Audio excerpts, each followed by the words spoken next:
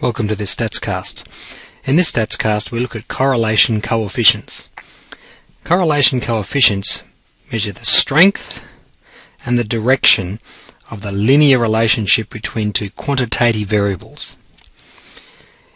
In our first example, uh, we study marathon runners. And the scatter plot here shows the relationship between each runner's personal best time and the predicted race time.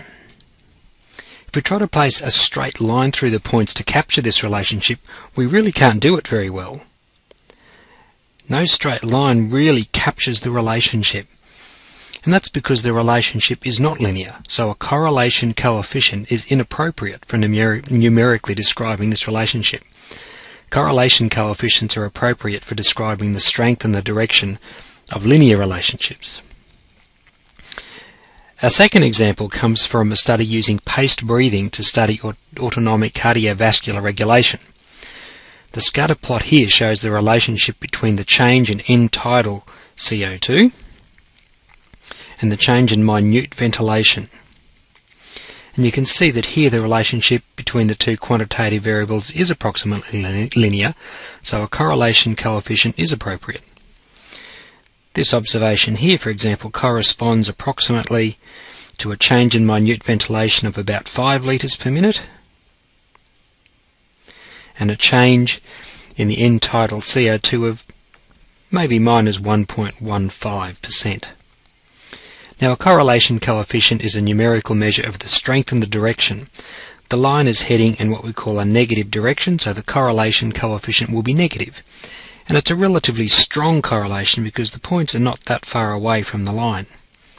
And so we might guess that the correlation coefficient is somewhere between, say, minus 0.4 and minus 0.9.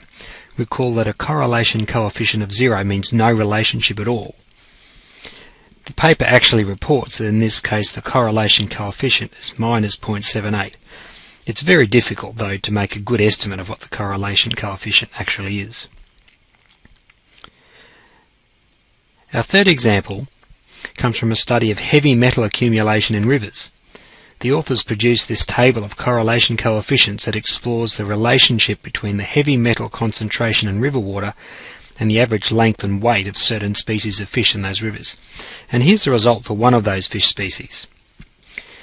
One of the correlations they've recorded here is between copper, Cu, and the length of the fish, now this correlation is also negative, it's minus 0.847, which means that as the copper concentration increases, the average length of the fish in that river decreases.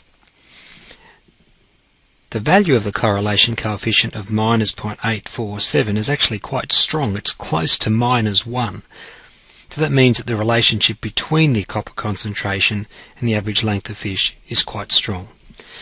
Now for this particular article we don't have a scatter plot so we must assume that the authors have examined the relationship between these two quantitative variables and found that it's approximately linear.